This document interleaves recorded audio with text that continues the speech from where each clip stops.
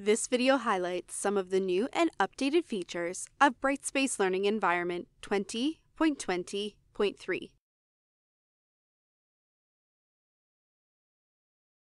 Announcements now displays author information on new and edited announcements. This functionality is controlled by D2L, Tools, News, Author Information Default, Configuration Variable, and a new Can Manage Author Information and Settings permission.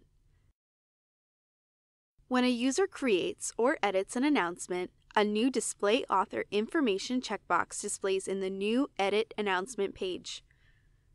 Users reading the announcement may see some or all of the following author information the original author, the original date and time of the announcement, the author who edited the announcement, the date and time of the edit.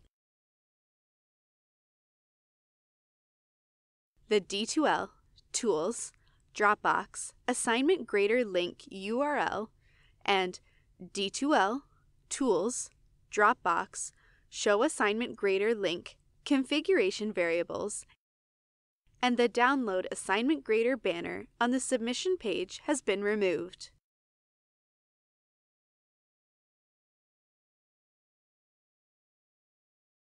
To improve cloud environment security, D2L is proactively blocking suspicious requests using a web app firewall. Note, this feature is currently available to Australia and Europe hosted clients and will be rolled out to Canada and US in April. The end of unit page has been updated to remove the moose puzzle image. This feature implements PI item D5344. In the new learner experience, the end of unit page now includes a progress meter. To align with IMS Global Best Practices, two new history fields that comply with the LTI 1.0, 1.1, and 1.3 specifications are now supported when copying courses with LTI links. This feature implements PI items D3632 and D1633. For more information, review the release notes. Brightspace Datasets version 5 is now available. Version 4 will continue to exist in parallel for six months. To enable, ensure the Can Access Brightspace Datasets permission is granted to administrators at the org level, and the D2L, Tools, Brightspace Datasets, version, configuration variable is set to version 5. This feature implements PI item D5306. For more information, review the release notes. To increase the value of the Data Hub offering and provide a consistent data access experience, portfolio datasets are now aligned with the existing BDS schedules.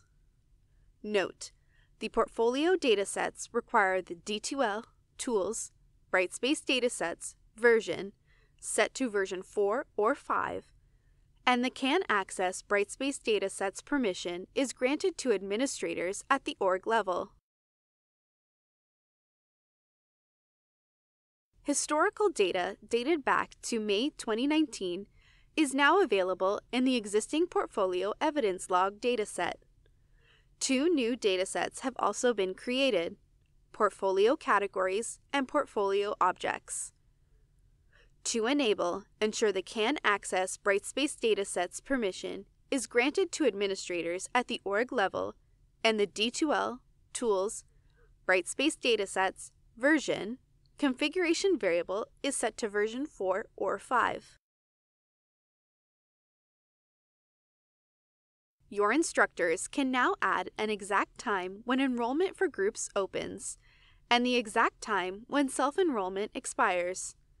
This feature implements PI item D3002. Instructors using anonymous marking can access QuickEval with confidence that it supports their anonymous marking needs. This feature implements PI item D5647. Your instructors can now import quiz questions stored in Brightspace Learning Object Repository. Note, this requires the D2L, Tools, Quizzes, New Quiz Builder Experience, Configuration Variable, and the Retrieve Objects from the Lore permission is set at the course offering level. To import quiz questions stored in Lore, click Import and select Import from Learning Repository. The publishing workflow in the new rubrics grading experience now includes a confirmation message that warns users when the rubric is not fully evaluated. Users attempting to publish an incomplete rubric evaluation must now click Publish to complete the workflow. This feature implements PI item D3819. In rubrics, when using keyboard navigation to tab to a row of selectable cells, there is now a focus indicator to help orient users on the page. Your instructors can now manually map achievement levels to rubric levels for all types of rubrics. Instructors are also able to override the percentage scale alignment with respect to an individual rubric if they choose to do so.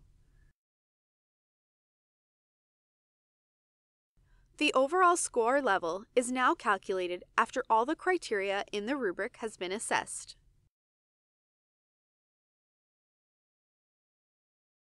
Thanks for watching.